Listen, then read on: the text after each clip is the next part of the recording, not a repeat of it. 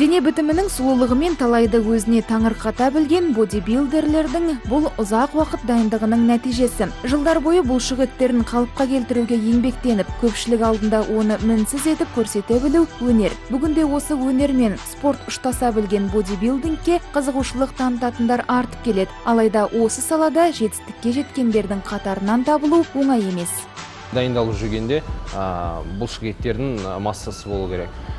Және дайындалған кезде сушка деген нәрсе бар сен артық салмақтан арыласың майларды және іштегі суды бәрін кетіру керексің. Ол өте өте қиын процесс. Ақпар жармағанбетов бұл спорт түріне 15 жасында келген. Балалық шағында денсаулығы әлсіз болған ол түрлі спорт секцияларынан тыс қалатын. Дегенмен де бойындағы талпынысы оны арманына жетелемей қоймады. Қазіргі таңда бодибилдинг чемпионаттарына қатысып жүлделі орындарды иемденіп үлгерген. Кішкентай кезімде өте аурушаң бала болғам.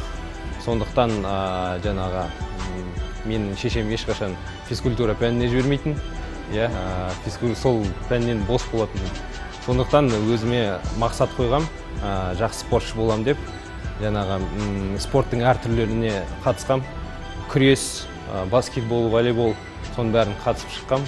Сондықтан жаңағы күш қуат жинап осы бодибилдингке келген. 15 жасымда. Қазақстандық бодибилдер өнер адамдарын жаттықтырушы ретінде де кеңінен танымал. Олардың қатарында белгілі тележүргізуші диктор мадина балғабаева да бар. Аптасына үш рет жаттығу залынан табылатын ол дайындық жүйелі түрде жүргізілгенде ғана нәтижелі болады дейді.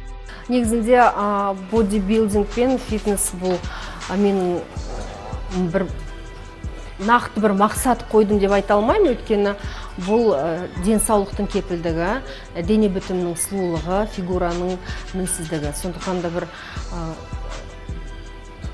әр өзіне қарайтын өзіне күтім жасайтын әйел баласы спортпен айналысу керек деп ойлаймын.